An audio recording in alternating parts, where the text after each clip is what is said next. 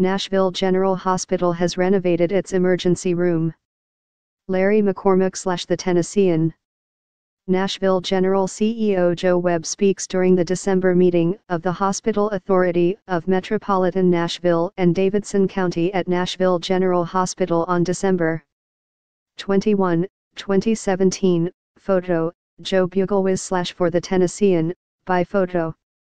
As a shutdown of inpatient care at Nashville General Hospital looms, its governing board voted Thursday to extend CEO Joseph Webb's contract through June 2018, with the option of renewing the contract for an additional year. Webb's contract was due to expire January. For its extension will include the same terms, a $350,000 annual salary and car allowance. It wasn't immediately clear if Webb would accept the contract. Webb's performance was due for review in January 2016, but that process wasn't undertaken until recent weeks. A link has been posted to your Facebook feed. During a 45 minute discussion of Webb's leadership, a vote to extend his contract for a full year failed. Webb's performance received positive reviews from several board members, including Frank Stevenson. We have a responsibility to this hospital and to this community, and a big part of that is leadership, he said. There are some uncharted days in front of us. What's really important for us is stability at the hospital. But Nashville General Hospital Authority Board member Sarah Finley expressed reservations about the outcome of the review, which has not yet been made public and doesn't appear to have been finalized. A number of things were identified where there were significant needs for improvement, she said. Some of those are at the very core of our operations.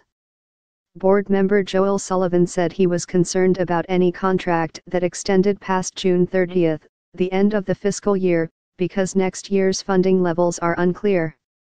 While the board's responsibility includes the CEO's contract and holding public meetings, key decisions about the hospital's future may lie elsewhere, with another board that is meeting behind closed doors. The 11 member group held its first meeting Monday.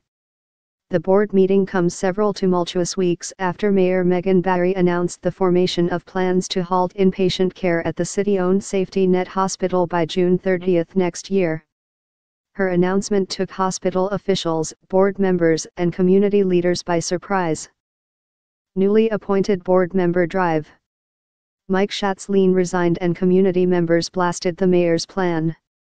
The mayor subsequently apologized for the way in which she made the announcement. In recent weeks, the hospital's finances have come under greater scrutiny. Barry announced the formation of an 11-member stakeholder team to guide the administration's final proposal met earlier this week behind closed doors.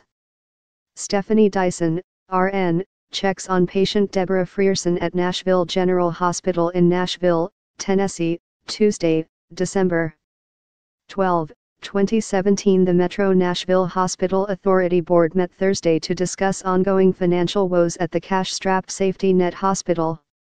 Photo, Andrew Nelles slash the Tennessean.